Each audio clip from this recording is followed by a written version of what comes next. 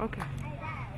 My name is Zadok Tumuhimbise, National Chairperson, Uganda National Teachers Union. Today, the 1st October 2020, I'm here in Irila to officiate at the UNATU's Gender and Women Empowerment Training Workshop. Uh, UNATU started this gender and women empowerment strategy and uh, our dream was to, say, uh, to see all gender gaps within the education system closed with all female educators fully empowered and as a result supporting girls of, go, of school going age to access quality education and perform optimally in schools. Uh, the union uh, therefore developed a gender and women empowerment strategy which was launched at Career Courts in Fort Portal in 2012. And since then, we have been implementing the strategy through trainings of this kind, through women's roundtable conferences, and information, education, and communication materials. So, as UNATU, we perceive women empowerment to be a situation where we are increasing the spiritual, political, social, or economic strength of women. We envisage uh, an empowered female educator who is well informed about their rights and responsibilities, who are self confident and able to pursue leadership positions within the union, within her, their communities, and other levels when the opportunity presents itself. A woman or female educator who is able to learn and implement income generating activities to empower herself and her community financially. An educator that is able to embrace and cope with the dynamic world of work where he embraces ICT. And finally, a woman educator that is able to become an agent of change in girls' education and a role model for the girl child. Because we have a strong belief that if you educate a man, you educate an individual, but if you educate a woman, you educate the whole nation. Uh, uh, this training, we hope, is very timely because it has been reported that the cases of violence against women and children have drastically shot up during the COVID 19 lockdown. On April 28, 2020, the Minister of Gender and Labor, Labor and Social Development reported to the media that in the period of 30th March to 28th April 2020, these cases of uh, gender based violence had uh, risen up to 3,280. And additionally, in a media briefing on 9th August 2020, the Minister of ICT reported that over a period of five months, from March to July, Uganda police registered 21,000 cases of violence against children, and over 50% of these cases happened at home. So it is important to note that these statistics account for only the reported cases and are likely lower than the actual number of cases of child uh, of gender-based violence. Therefore, important that as a teacher or teachers, we use part of this workshop to deliberate on how we can empower our fellow women and our learners to address this nationwide problem. It is also important that as teachers, we recognize and understand the effect of such a violence on our learners. As schools and institutions are reopening, let us refrain from being perpetrators of similar violence. We need to endeavor to create a safe and friendly school environment for our runners. Because the moment they find the situation much more hostile at school than what they have been experiencing at home, we shall not have them in school and we shall have rendered our nation to a situation that is undesirable in the future. Because when we don't have school, uh, children in schools today, it means we have a very big challenge and many gaps in as far as uh, service delivery is concerned. That the lockdown has been eased and uh, it has enabled us to conduct some of our planned activities. And uh, as teachers, we are in full gear preparing for the commemoration of World Teachers Day, which is on 5th October. And uh, we shall have our national celebrations, where His Excellency the President of Uganda is expected as the chief guest, and will therefore host the national celebrations at the State House in Tebe, where a total number of 50 participants is expected, including the teacher leaders, the members, the strategic partners, officials from different line ministries, and as well as ministers. We shall have the district or branch celebrations, and the branches are expected to select 10 schools per sub county where trees will be planted. In each school, a minimum of 10 trees will be planted by selection of 10 teachers per school. Plan is to prepare for the World Teachers Day celebrations in branches are underway. We expected the leaders in branches to update the members and inform them about how, where, how they are going to celebrate and who is going to be involved. And we request that in every situation, at every school, and at every branch, we observe the SOPs in order to minimize the prevention and the spread of the COVID pandemic.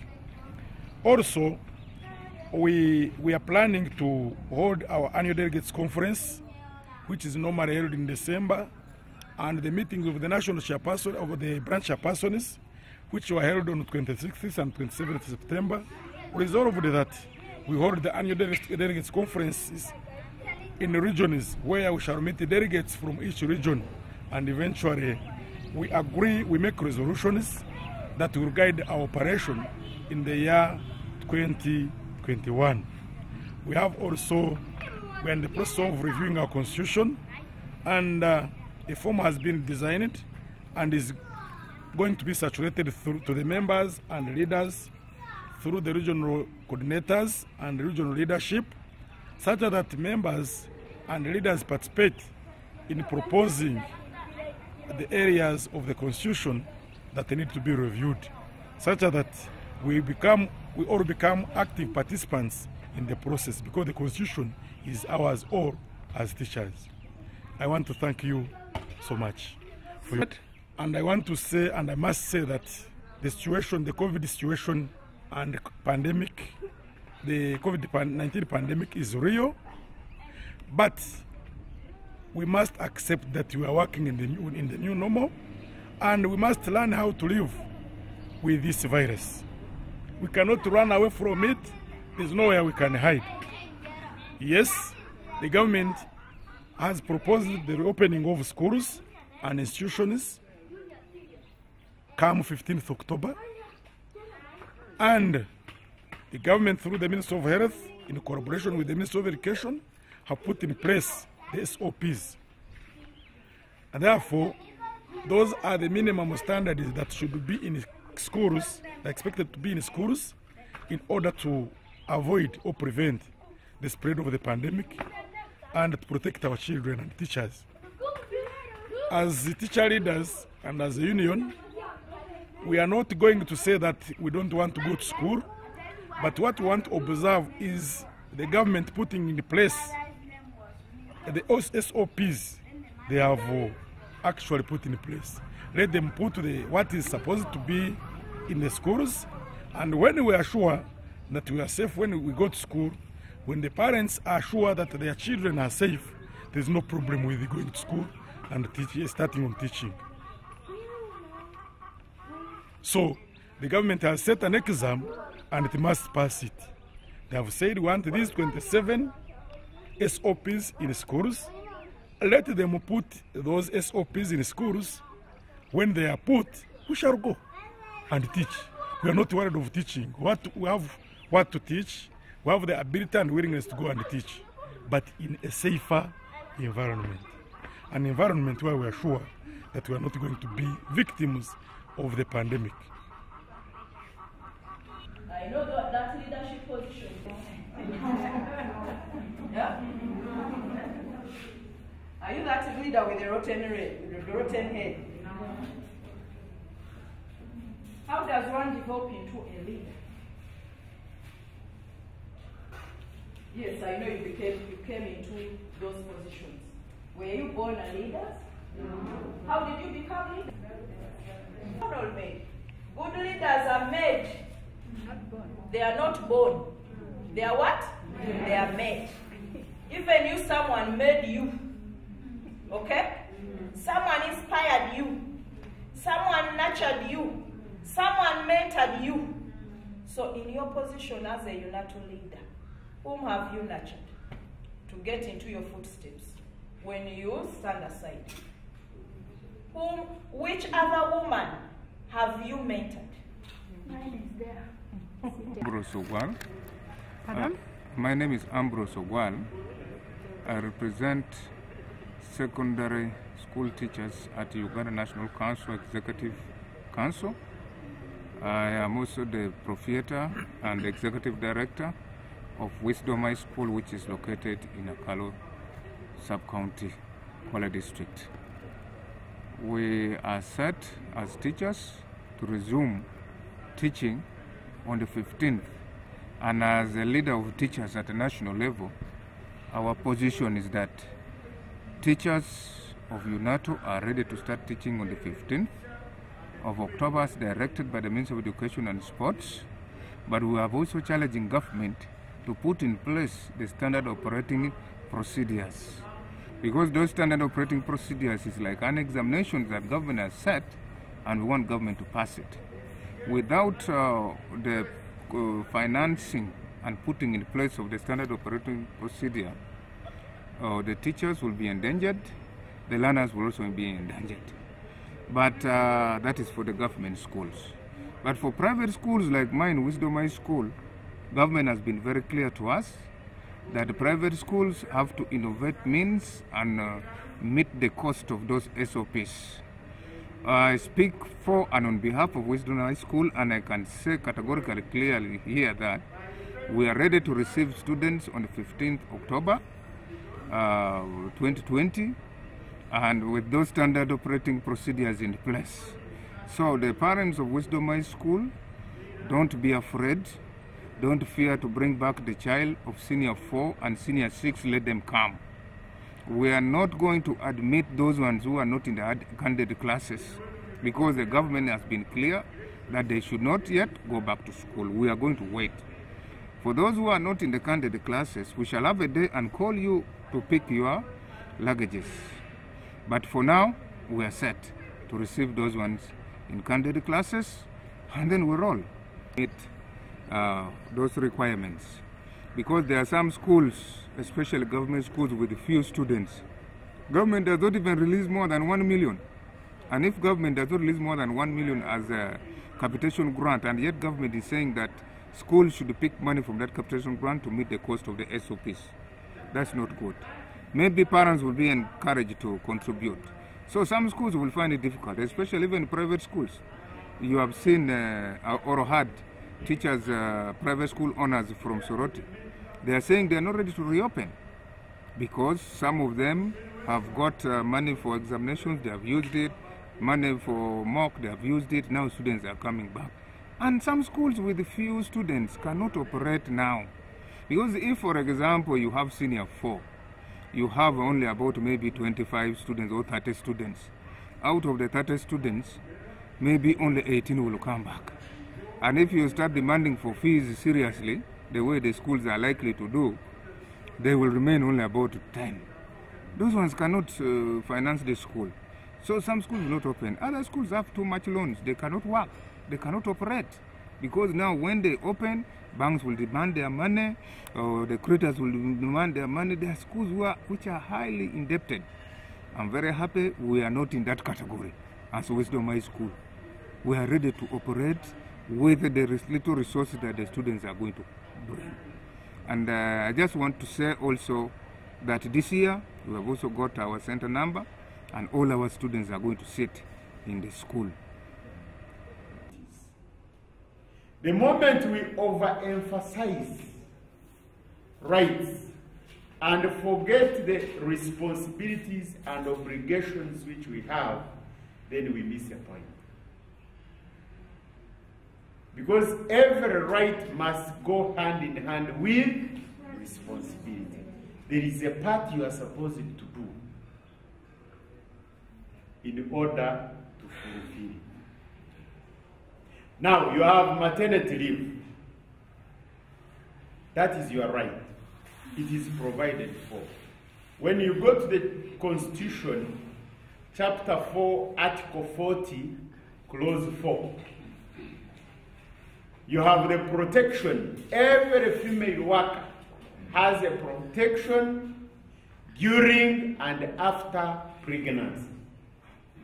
That is the Constitution. And from that provision of the Constitution, when you deliver, or when you are about to deliver, you are entitled to how many days? 60 working days as maternity leave. Now, when you apply for maternity leave, your immediate supervisor's work is to forward. If you are in primary, your supervisor, who is the head teacher, is forwarding to the DEO, and the DEO is forwarding to the CAO or town clerk. The work of the CAO, the work of the town clerk is to grant not to negotiate or not to ask questions because it is your right. Now the other issues of saying you see the staff ceiling is not is not complete, the class is going to suffer. Me as a female worker, I am not the one who put the provision of that right. Okay? So when it is time for me to get maternity leave, I must get my maternity. What happens the other side is the responsibility of who? even forced remove the desks and they sit on ground. P7, what is the completion rate? I said the figures. What is the completion rate? 47. But in P1 there were 250. The circle goes on. When you go to senior 1, they have remained. By senior 4, they have dropped out. But even when you talk of school dropout, there is a particular sex that is more affected. And the question as we are going to that justification, where do they go? And that's why I'm coming to speak the truth, curse you, and then until we get to know that the value of God's education is important. When they leave the schools, we even from the minister, we are responsible. I heard somebody was saying she's a secondary school teacher there. We sit somewhere in Kampala and conduct what we call a national selection exercise for senior one and senior five students. Let's begin from there, then we shall rush in. And what happens there? In the government schools, whoever was 28 aggregates and below, he qualifies to be on USE. Right? What happens to those? Yeah. Those are figures, statistics. Now you're here sitting. seated sometime Senior one we see. I'm going to make a simple calculation for you. When you count a hundred girls in Uganda, 25 out of a hundred they are what? Leaving us with a percentage of what? 75. Whenever you say 1, 2, 3, 100, subtract 25. In Lela, in Oya, in Wakiso, in Yankole, in it is out of this, this presentation. In Chiwale district, between March to July, 956 girls were pregnant this year. What? This year. Who is responsible? Who are the? There are evidences from there. Who is responsible? Tell them. The parents. The parents. I'm happy. So that you have said that one. that is sometimes the biological parent, the father, looks at this 10, 12, 13 year girl and says, The girls council, the elder of council sat. And I believe they brought one Chizike, a court, and an approach of. Why girls? have I started answering the question? Why? And the girls were, even you were girls before. So don't power, therefore I'm not a girl. Once you were a girl. Only 24% of the Ugandan children do not experience violence according to that research. Only 20. Now I'm going to stand here. Don't look at where I'm. Although these days, they pick them. Their relationship with the teachers. They even call, hello teacher, has Harriet eaten? Let me talk to her. How about those in Apac?